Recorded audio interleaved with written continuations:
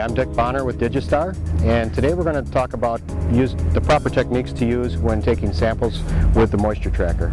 So to start out, you would want to power your unit up, and we recommend that you power it up uh, and probably leave it on for about 10 to 15 minutes prior to taking your samples, um, just so it acclimates to the ambient temperature.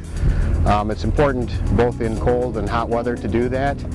Once you have the unit on and are ready to start taking your measurements, um, you would go into the main menu and click on your measurements and from there you can select the farm that you want to use and the feed type that you want to sample.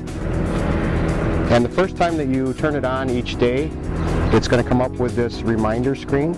And this is just telling you that you want to uh, verify the calibration of the unit each day before you start sampling. And if you're going to be doing a lot of samples uh, in a day's time, you may want to uh, check the calibration periodically throughout the sampling.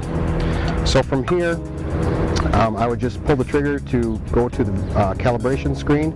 So once I'm at the calibration screen, um, I take my calibration disc and there's a code on the back, a six-digit code, uh, the 540559 on this disc, and I can verify that that's correct um, that I have that entered correctly into the device. That code shows up down here. If I get a different disk, I can go in and easily change that code so that it matches my disk. But as long as my uh, code matches, then I can go ahead and check the calibration on the unit. So the way I want to do that is I want to set the, the disk on a solid um, surface and just hold the sensor on the disc so it doesn't move. And I push one to calib or check the calibration.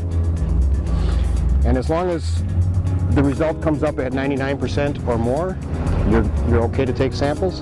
Um, if it's below 99, it's going to uh, ask you to recalibrate. Then you would just do the same procedure, hold the unit on the disc and press the number two, and it'll take about 45 seconds for it to recalibrate. So now that we're calibrated, we can go back to the measurement screen and we're ready to begin sampling.